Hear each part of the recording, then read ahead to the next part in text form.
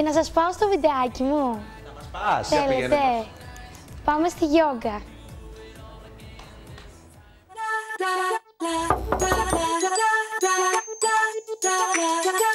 Σήμερα νομίζω ότι έχω την πιο όμορφη παρέα.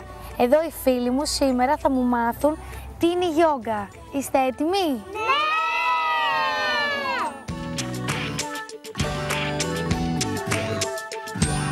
Είναι κοντά μας η Αριάδνη Οικονομίδη, η οποία είναι δασκάλα της γιόγκα και όπως μου είπε, είναι δασκάλα της γιόγκα για παιδιά. Ναι. Είσαι δηλαδή εξειδικευμένη καθηγήτρια. Ναι, έχω ασχολούμαι από τα, με τα παιδιά από το 2007 πάνω στο κομμάτι της γιόγκα, το οποίο είναι μια μορφή εναλλακτικής γυμναστικής, είναι αρκετά καινούριο στην Ελλάδα και είναι πολύ σημαντικό γιατί τα παιδιά μαθαίνουν να κάνουν γιόγκα, μαθαίνουν, να, μαθαίνουν το σώμα τους μέσα από διάφορες ασκήσεις και παιχνίδια. Ένας από τους βασικούς κανόνες είναι να σέβομαι τον εαυτό μου, να σέβομαι τους διπλανούς μου, οπότε και αυτό το περνάμε στα παιδιά με όλες τις ασκήσεις, αφήνοντάς τα να δουλεύουν την κάθε άσκηση όπως μπορούν, χωρίς να τα πιέζουμε με το ζόρι να το κάνουν. Και έτσι μαθαίνουν και τις δυνάμεις τους, μαθαίνουν το σώμα τους, πώς μπορούν να Έχει κινούνται. να κάνει με ευληγησία. Έχει να κάνει με ευληγησία, έχει να κάνει με δύναμη, έχει να κάνει με εκμάθηση του σώματός μας, έχει να κάνει με συντονισμό του σώματός μας. Θα σας δείξω δύο-τρεις ασκησούλες που μπορούμε να τις κάνουμε μαζί με τα παιδιά. Οπότε πάμε να ξεκινήσουμε από τη θέση του πολεμιστή 2 για τους μεγάλους, τη θέση των σέρφερ για τα παιδιά. Παίρνουμε το ένα μας πόδι μπροστά, το άλλο πόδι το κρατάμε πίσω και ανοίγουμε πολύ πολύ τα χέρια μας. Για τα παιδιά κάνουμε μια συνεχόμενη κίνηση, λυγίζοντας το γόνατο και πηγαίνοντας πίσω. Αυτό είναι ο σέρφερ. Για τους μεγάλους μπορούμε να μείνουμε σταθερά εδώ. Από 5 ετών ξεκινάνε Η ή γιόγκα μπορούν για και- παιδιά μπορεί να είναι και από πιο νωρίς. Μπορεί να ξεκινήσει από 3 χρονών και φτάνει μέχρι 12.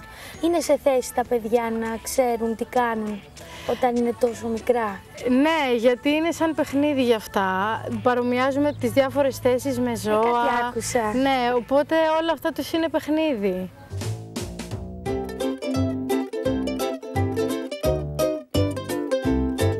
Μια μαμά που ενδεχομένως τώρα μας παρακολουθεί και της αρέσει αυτό το πρόγραμμα και ενδιαφέρεται να στείλει το παιδί της να παρακολουθήσει μαθήματα γιόγκα. Εμείς βρισκόμαστε εδώ πέρα στη Βάρκιζα, σε ένα νηπιαγωγείο, στο ΔΕΣ, που το παρέχει αυτό; Του παρέχει τη γιόγκα. Διαφορετικά τι γίνεται σε αυτές τις περιπτώσεις, πού πρέπει να απευθυνθεί, σε κάποιο γυμναστήριο, σε κάποιο παιδικό σταθμό, τι γίνεται; Υπάρχουν ε, πάρα πολλοί παιδότοποι, πάρα πολλά γυμναστήρια που έχουν ξεκινήσει και έχουν αυτό το πρόγραμμα πλέον. Και όπως επίσης έχουν ξεκινήσει και πάρα πολλά σχολεία και παιδική σταθμή και νηπιαγωγεία και έχουν εντάξει το πρόγραμμα αυτό λόγω της ζήτησης που έχει πλέον.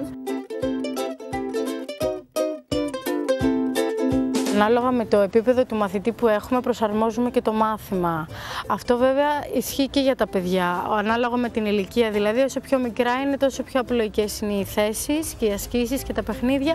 Όσο μεγαλώνουν, αυξάνεται και το επίπεδο δυσκολίας.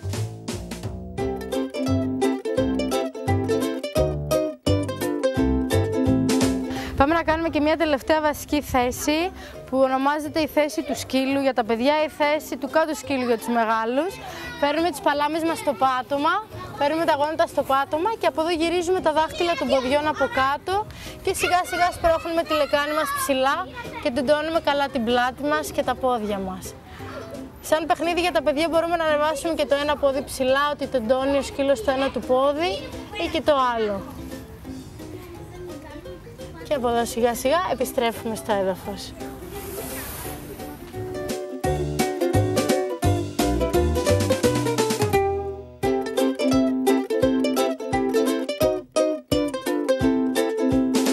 Γεια Μια ηλιόλουστη μέρα λοιπόν στη Βάρκιζα με την Κωνσταντίνα, με γιόγκα για παιδάκια από 4 ετών μέχρι όσο πάει και για μεγάλους βέβαια όπως είδαμε. Βέβαια. Πάντως ε, θέλει όρεξη, ενέργεια να το κάνεις. Αλλά είναι πάρα πολύ ωραία γυμναστική για παιδιά τελικά η γιόγκα. Δεν πάρα μπορείτε να πολύ ωραία. φανταστείτε πώς τα βοηθάει και ηρεμούν μετά σπίτι. Δηλαδή οι μαμάδες που καλό. μας βλέπουν και είναι πολύ υπερκινητικά Το τα να παιδιά τους, είναι ωραίο να τα στείλουν να κάνουν γιόγκα. Είναι πάρα πολύ ωραίο και νομίζω ότι κάνει και πάρα πολύ καλό στο, στον παιδικό σκελετό η γιόγκα. Δηλαδή τα κάνει, ξέρεις, ε, ε, πολύ... Ναι, γιατί συμβάλλει στην, Ελαστικά. ευλη... στην ευληγησία. Ακριβώς. Και μην το φοβούνται ότι είναι πολύ ακριβό πρόγραμμα. Πλέον τα πράγματα έχουν γίνει πιο προσιτά και μπορούν.